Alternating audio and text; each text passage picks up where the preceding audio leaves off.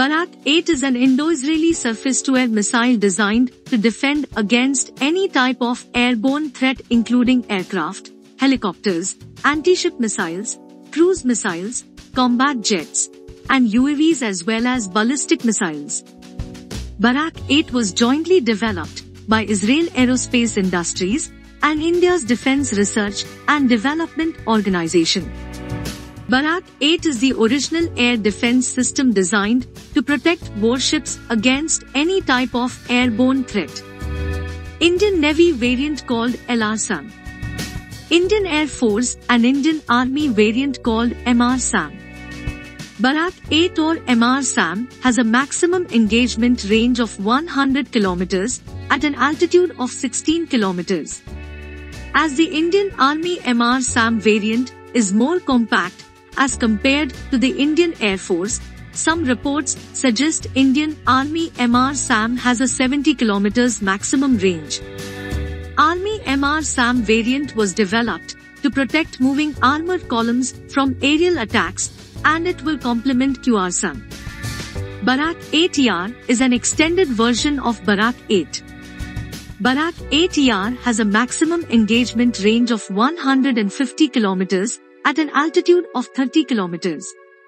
The MRSAM measures 4.5 meters in length and 0.94 meter wingspan. The missile weighs 275 kilograms including a 60 kilograms warhead which detonates at proximity. The missile has a maximum speed of Mach 3.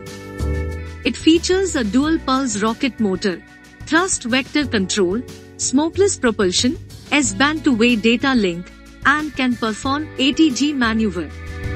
The guidance system is provided by a two-way data link in the mid-course an active RF seeker in the terminal phase. The second motor or second pulse is fired during the terminal phase, at which the active radar seeker is activated to home in onto the enemy track.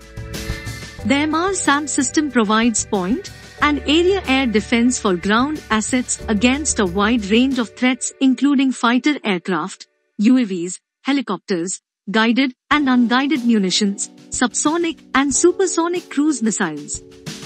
It is capable of engaging multiple targets in intense EW environment. The missile is powered by indigenous rocket motor and control system for achieving high maneuverability during the terminal phase. The firing unit comprises of missiles, combat management system, mobile launcher systems, advanced long-range radar, mobile power system, radar power system, reloader vehicle, and field service vehicle. Each launcher will have 8 missiles into stacks and are launched in a canister configuration. ELM 2084 MF star radar detection range up to 250 kilometers for air surveillance purposes or up to 70 kilometers for weapon location purposes. It features detection and classification of all types of airborne targets including mortars, cannons, rockets, and missiles, calculation of impact points, hostile weapon location, and friendly fire ranging. The Indian Army ordered 5 regiments, which consists of about 40 launchers and 200 missiles for 17,000 crores rupees or 2.3 billion US dollars. The Indian Air Force ordered 9 squadrons, which consists of about 54 launchers and 490 missiles. Indian Army each regiment consists of 3 batteries. Indian Air Force each squadron consists of 2 batteries.